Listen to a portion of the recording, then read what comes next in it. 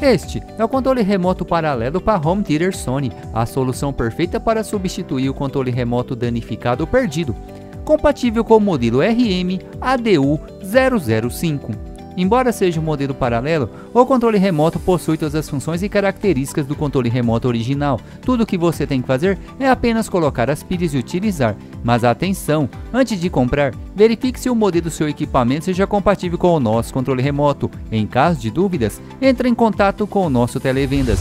A Teceletrônica.com, a maior referência em controle remoto do Brasil.